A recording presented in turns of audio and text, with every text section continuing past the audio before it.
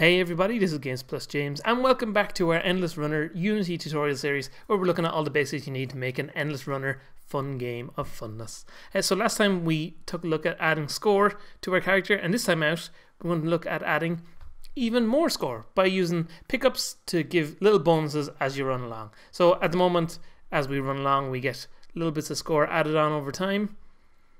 As we'll see as we start moving, there we go. So we're running along and we're getting score. But we want to be able to collect some pickups and make our high score even higher than this.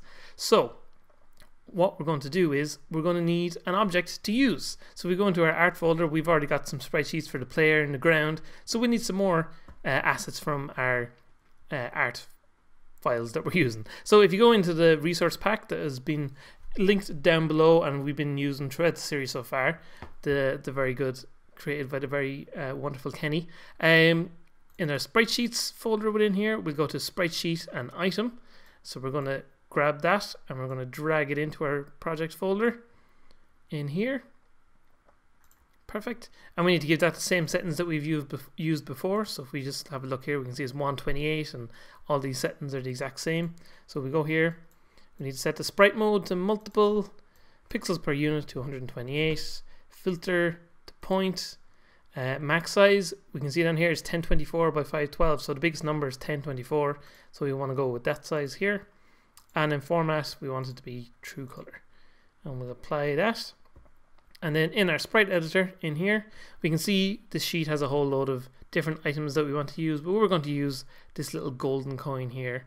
So we're going to just zoom in and we'll create a box around this guy, just like this. Just make sure the edges are touching the edge of the box. You don't really need, you don't need, need them to be exactly touching really, but just for the sake of handiness, we're going to go with that.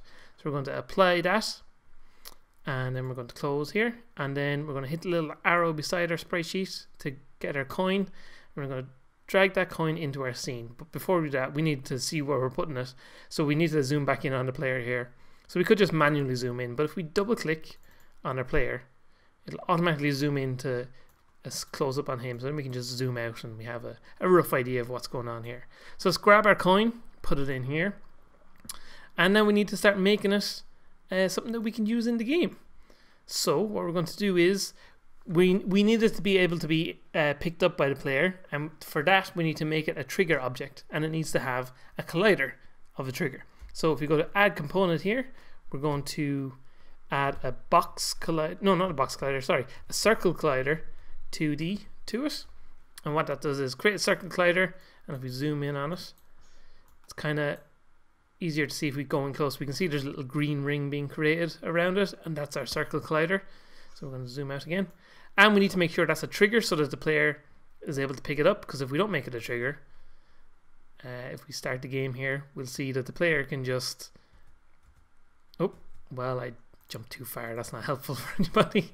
Um, there we go. The player just runs into it, and that's not very helpful for anybody. Uh, so we will grab our coin uh, that we have here. Uh, we're just going to rename this to coin. And on the circle collider, we need to make it a trigger like that. So this, we need to make this coin be able to give our score a nice little bonus. So to do that, we're going to have to give us a, a script. So we go to our script folder and we're going to create a new one. Uh, create a new C sharp script. And we'll call this say we'll call it pickup points because that's what it's going to do. It's going to create a pickup that's going to affect our points scoring system. So we'll open this up here in MonoDevelop once it loads up.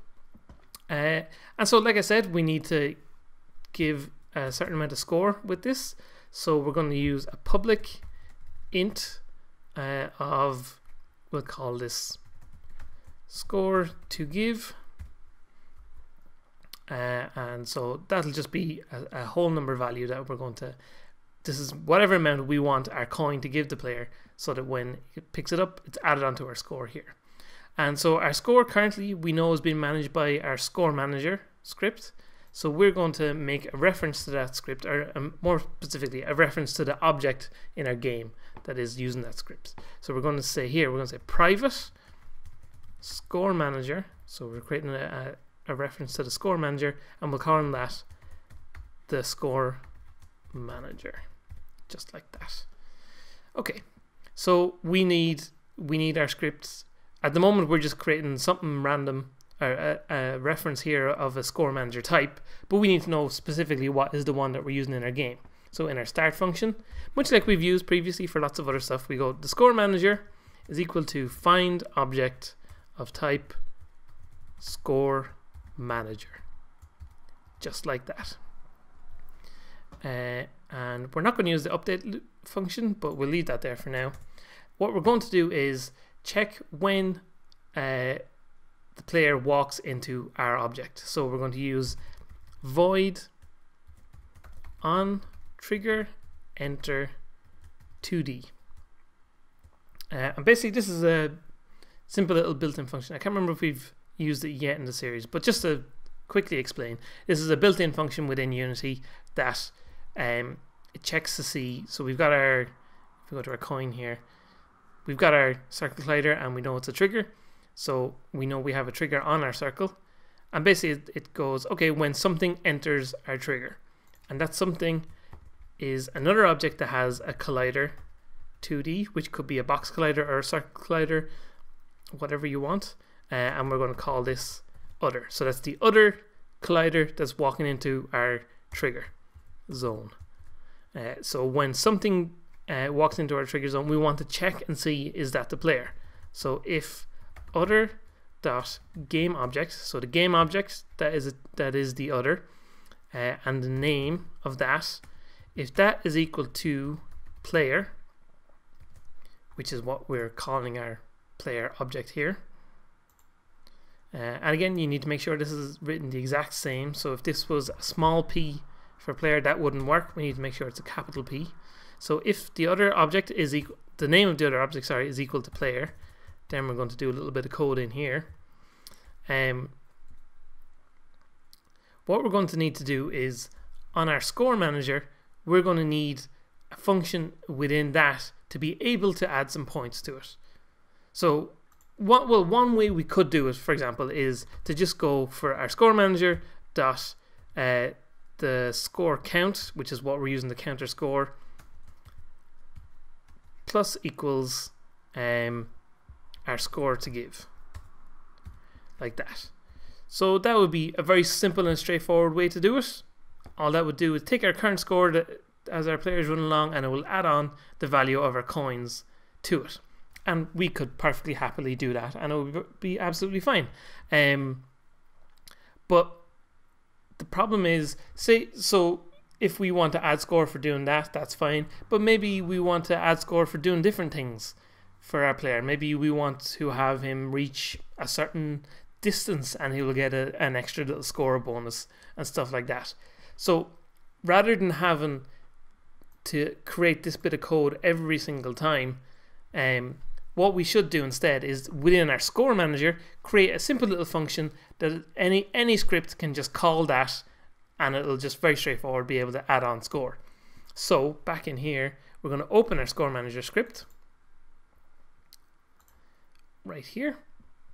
And once it loads below our update function and after this curly bracket we're going to create a new uh, function down here. So we just say public uh, void um, what do we call this? Well I suppose very simply we'll just call it add score. Add score. So this will just be what we're adding to our current score and that's going to need to take in a certain value which will be an int value uh, that we will call points points to add I'll put our curly brackets. So basically all it says is this is a function and it needs uh, a number value that it's going to take in. Um, so that'll be, so for example, from our coin, that's going to be, if we go here, that's going to be our score to give. And we're going to send that to our score manager. So here we're going to say, in, in within here, we're just going to say our score count plus equals, so we're adding on something else, which is this thing we just referenced here, which is an int of points to add. So we're just going to add on our points to add like that. And you want to be able to have little functions like this so that you're able to just call them from elsewhere. We use something similar in our game manager uh, script as well. Uh, so rather than having all this text here, what we'll say is actually no, we'll just get rid of this bit. We'll say the score manager dot add score, and then in the brackets we're going to put in our score to give, which is right here, just like that, and put our little semicolons at the end. Uh, so if we save this and go back into our game. We'll hit play. And as the player goes, oh, actually, no, I just realized we didn't actually give a value for our coin. Uh, and we didn't even give it a, a, script at all. So we need to give it the uh, pickup point script, of course, and we need to give it a score. So we'll set it to 100, just so we, it makes it very obvious here. Uh, so uh, we'll hit play again. Actually, no, on, I'll just stop because it's very far over. So I'll move it over to the right here, just so our player it's a bit easier for our player to pick it up. Or else we might jump over it a bit too easily. So we go like that. There we go. We pick it up. We saw we got 100 points added on, and our player fell down off the screen. But as you can see, the object didn't didn't disappear. So we need to make sure our object is disappearing after we pick it up. So right after we add on the score, we're just going to simply say, uh, rather than destroying the object, we're just going to deactivate it. Because if we're going to have these coins throughout our levels, we're going to need to use them in our, with our object pooling system for these coins as well. So we just need to deactivate this coin. So all we say is game object dot set active false. No, not facts false. There we go. So what I'll do is just disable our coin object and remove it from the game. So we'll just see that again in action. And once it starts going, oh, I fell. there we go. So our coin was destroyed just the way we wanted it to be, which is perfect. So now our coin is gone from the game. Well, it's deactivated there. It's still within our world, but it's it's gone for the moment.